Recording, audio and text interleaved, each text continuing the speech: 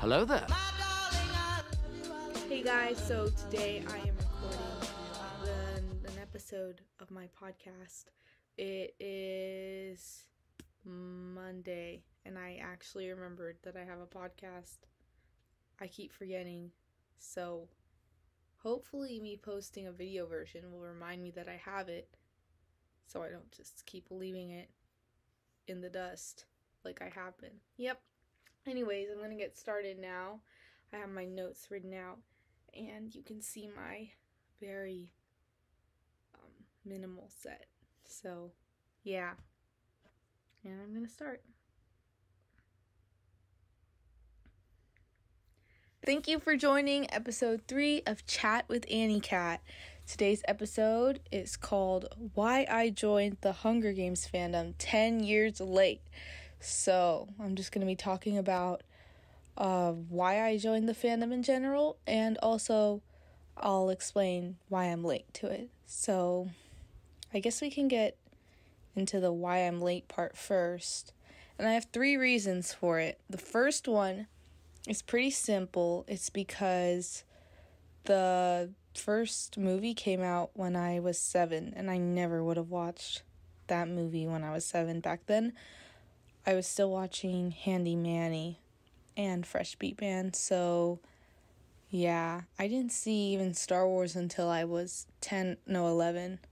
Yeah, I was 11. So that wasn't even anything I was thinking about back then. So the se- and the books, I don't know when those came out. I guess I could look it up. I did, should have gotten that in my notes. Let me see. When did the first I'm typing um Hunger Games book come out? 2011. So that is the first wait, no, no, no. Hmm. 2009. How did how did Catching Fire come out in 2009? That doesn't make sense. Hmm, 2008, I think it's saying here. So that, yeah, I would have been four years old when those first books came out, and that is way too young to read that or even have any knowledge about it. So I would say the first time I was introduced to it was junior high because they had us listen to the audiobook of um, the first book and it was super boring because the uh, the lady who read the book in the recording had like the most dull voice and she was British so it sounded like like a Siri. She didn't sound relatable so it was just like really boring like there was no emotion at all. And when you read it on your own it's very emotional and you can hear the voice in your head of the character and it's like it makes it so so so much more interesting. But i can see why i didn't get into it back then because that audio recording was just so bad. So that is the second reason why i didn't get into it in 2017 which is when the last movie came out and then the third reason I would say is because nobody talked to me about the books or the movies ever until March 6th this year. Uh, one of my friends, one of my sister's friends, um, now she's my friend too. She had been talking about the Hunger Games and she was talking about the plot line and she was just so invested in it and I was like I I heard that a long time ago and I don't really remember the ending. And then she said she would let me borrow the books and I was kind of like well, might as well finish what I started because I don't know I really don't remember. I think we finished the the end of the book on audio recording, but I think everyone was just so loud. They were talking over it. I didn't I didn't remember it at all anymore except for the first couple chapters. So she gave me the first book to borrow and I read it so fast. It was super fast. I didn't want to put it down because I wanted to know what happened at the end. I think I read it in 2 days. And I had work on both those days. So I read it pretty quickly. Um and then like every Sunday or Monday she'd give me the next book. So I had 3 weeks of reading them. And then I think 2 weeks after that um I got we rented the movie we rented the movies and then the week no no no I think it was like a week after I finished the book, we rented the first movie. And then a week after that, it was the 10th anniversary of the movies. And we got all of them for $20. So, I mean, if I'm gonna get into it late, might as well get into it at the 10th anniversary so that you get a good deal. And that's what happened. So, we watched the movies within a week again. Yeah. And that's how I got into it. I mean, I have since then started on some edits from the movies. And I think I'll put a few of them up and see what you guys think on my channel. Because I don't know if any of you guys like the Hunger Games. So we'll see. I'm excited to find out. But I am going to go through the reasons why I got into this series uh, now that I've explained how I got into it. So, the first reason that I like it is the character arcs. I am a huge fan of character arcs. I think that that's the main reason why the sequels like that's the biggest thing they were missing, I think. They did not complete their characters' stories, which I mean there were a few character arcs in the Hunger Games that weren't it it really depends if we're talking about the books or the movies cuz the books have perfect character arcs. Everybody in it has growth throughout the series in just 3 books. They change so much they become so much better. And it's just so interesting to see how they change and how they start reacting differently to things. And then when you see who they are at the end compared to who they were, it's just like, wow. You can see how it was like there's so much foreshadowing even from the beginning, which is what I like but it's just such a when I say you say wow because it's just like such a complete arc. It's like this one major hurdle that they had at the beginning, they overcome it at the end. And I love that. It was really interesting seeing how also they introduced new characters without ruining the other characters or taking away from them. It only added to the main characters. It, like Finnick such a good character. I think he's my favorite. I mean, he has to be because I'm Annie, so I have to love Finnick, you know.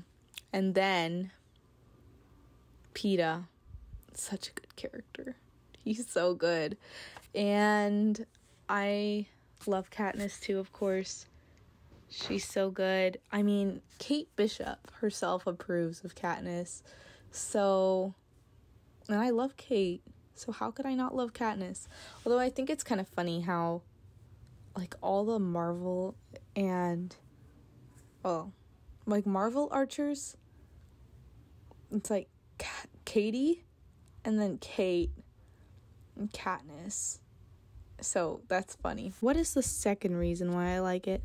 Because I did not fill in my notes for the podcast this much or up until this point. I have not finished my podcast notes. So I guess I'll just have to think of a reason why I like it right now.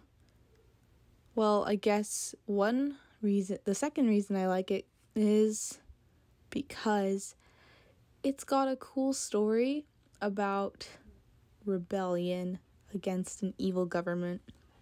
And that's kind of the premise of Star Wars. And I guess I just kind of I like those stories because they're just so full of like courage and hope and bravery and it's nice to see people uh, rise up against an evil government. I don't I don't know, I just love that. So that's that's one thing that pulled me in about this fandom. And then the third reason I would say um I would say it's just really fun. The whole team Peeta and team Gale. That's so fun to be angry at Gale. Yeah, shamelessly. It's it's fun. And let me see another that's that's a minor reason. I said I was going to say 3 reasons why I like it, but I have a lot more. I mean, there's so many good like quotes that you can reference that are funny. And then another reason why I like it is because the book to movie adaptation is pretty good. Like they didn't show everything, which I'm okay with, but they did a good job at cutting things out and like reshaping things. Like it's super clever how they just trimmed it down. Like they trimmed down the fat, just gave the story without like changing it entirely. Which I was watching behind the scenes video and they had debated on doing that. And I'm so glad they didn't because it's so cool how they have full on scenes that are exactly how I imagine them reading the book. And I think that's my favorite part about it. Just seeing like them play out a whole scene and it's like that's that's just what I was thinking. And I really loved that. That was really fun. I mean, Narnia kind of did that for the first movie and I love the Narnia books. But the the other movies after The Lion, the Witch and the Wardrobe, they did not follow the story. And I did not like that. It was so so annoying and I'm just glad that with this one looks like they well with Hunger Games, they did stick with it. And let me see. Yeah, it could have gone so wrong, but it didn't. And I mean, also the casting was really good because Peeta, he was exactly how I imagined him. And Katniss, I like, I had already known what she looked like, but she acts just like Katniss, even though she's a little bit too tall. And then Gale, he's just like Gale. And the only one that's kind of eh was Annie because they said she had brown hair in the books and they just like straight up straight up gave her red hair. So I was like, why? But I guess it I'm thinking maybe it's cuz like she's from District 4 and they wanted her to look more mermaidy or something. I don't know. Finnick totally looks like a merman. Just gonna say that. But I mean, yeah, Finnick, they cut out a lot of his like really good scenes. But I mean, it's okay. I mean, they changed his uh what's it called? They changed his wedding to make it more sad, which I didn't like. I think that's my biggest thing that I don't like about the movies. This Finnick's wedding. Yeah.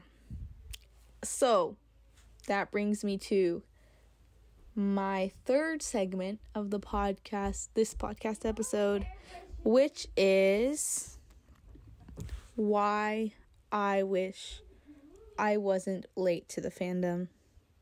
Three reasons why I wish I wasn't late to the fandom.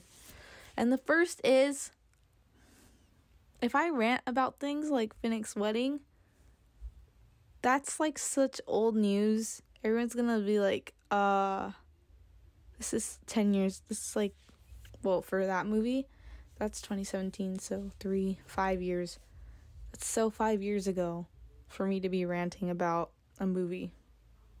Like, I mean, people still rant about The Last Jedi, I guess.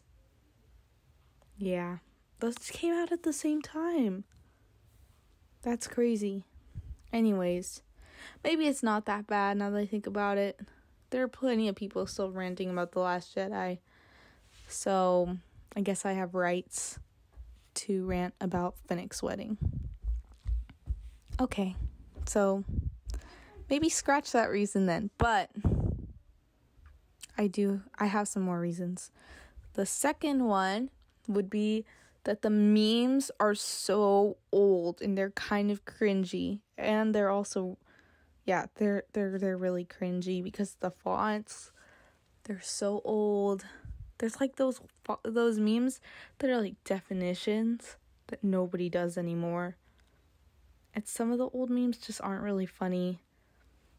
So that's like one reason that's kind of sad. And then another one is all the fan accounts are like deactivated by now.